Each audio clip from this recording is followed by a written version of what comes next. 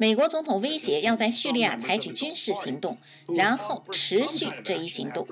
在伊朗最近的挑衅行动之后，一些他自己党派的成员要求采取某种行动，迫使伊朗必须降低铀浓度，以达至他们同意的限度。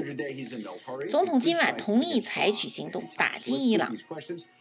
现在邀请一位重要的共和党人，共和党国会议员亚当金斯曼，美国退伍军人，现在仍担任空中国民警卫队的成员。作为一名在伊拉克和阿富汗执行任务的立法者，你认为军事行动已经被总统叫停，并且仍然有可能在他所拥有的范围之内，或者被启动，或者被取消？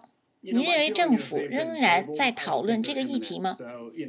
我认为他们已经重新提议，无论将来发生什么事情都有可能。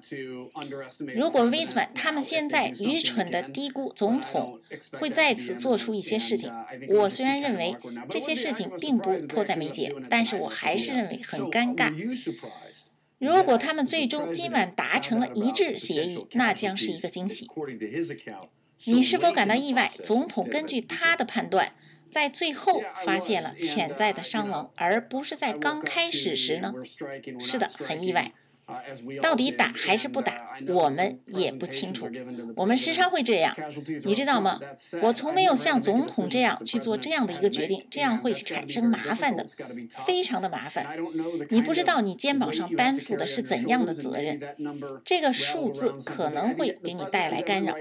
总统有权利在起飞过程中，在攻击过程中叫停。不幸的是，今天在公众面前这样显示，那么公众会认。认为这件事情本身就不应该做，认为之前要实施打击的这个错决定是错误的。那么今后我们将面临同样的可能，认为本应该做的事情被认为是不应该的。而且我认为在将来，如果有人攻击美国军队，我们必定会失败。我认为空中导弹基地可能什么事情也不用做了。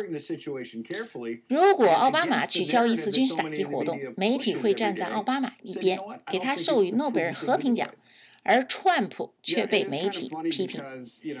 你是否认为，作为共和党这个总统已经渐渐失去了信任？他应该小心的去考虑问题。在这样的大环境下，多种媒体在攻击他不可信的情况下，他应该慎重的决定，而不是很快的否认他自己的决定吗？是的，很搞笑，因为我还是反对总统的决定。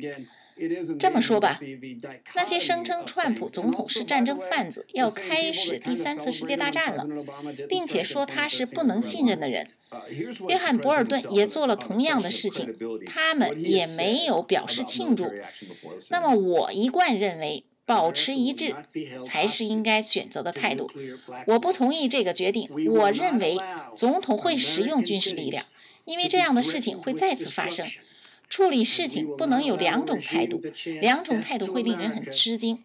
另外，顺便说一句，当奥巴马总统在2013年红线上没有采取军事行动的时候，他们也产生了庆祝，他们不一致。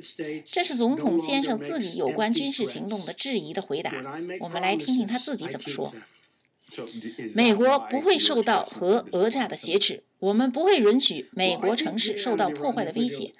我们不会允许一个政权让美国有机会死亡，与获得地球上最致命的武器。今天的行动发出了一个关键信息：美国不再制造空洞的威胁。当我做出这个承诺的时候，我一定恪守承诺。这是不是让你今晚表达了一些失望的原因？是的，我认为摆脱威斯曼核武是正确的。伊朗现在正在被抨击，总统没有制定程序，所以我认为他不会退出承诺。我认为伊朗人必须付出代价。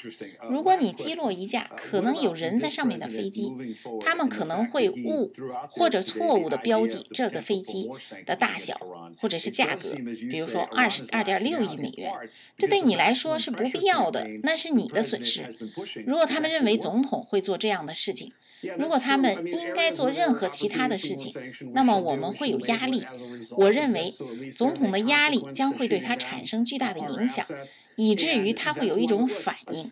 也许这种反应相比法律之下会显得很苍白。